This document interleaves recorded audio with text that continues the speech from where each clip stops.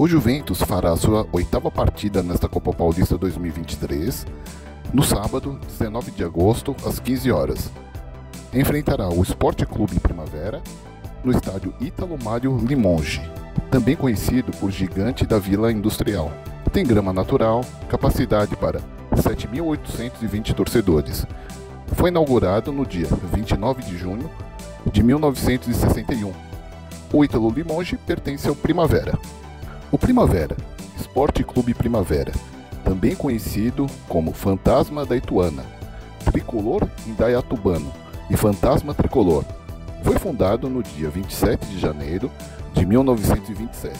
Foi campeão paulista da segunda divisão em 1977, 1995 e 2018.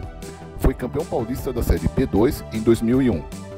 O Primavera está localizado na cidade de Indaiatuba, na região de Campinas.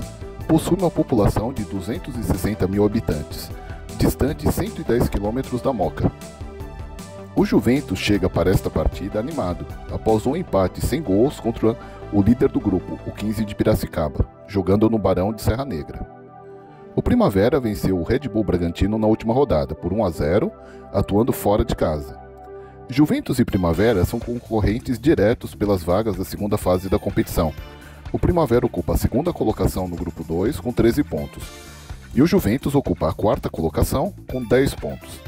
O professor Jorginho tem os jogadores Betinho, Matheus e Lucas Silva pendurados com dois cartões amarelos. Juventus e Primavera já se enfrentaram quatro vezes. Uma vitória grená, dois empates e uma derrota. Quatro gols marcados e quatro gols sofridos. A primeira partida foi pelo Campeonato Paulista Série A3, no dia 8 de fevereiro de 2015, vitória juventina por 2 a 1 na Javari. A última partida foi no primeiro turno dessa Copa Paulista. No dia 16 de julho, empate 1 a 1 na Javari, gol de Marlon. Curtam este vídeo, compartilhem e nos sigam nas redes sociais. Até a próxima!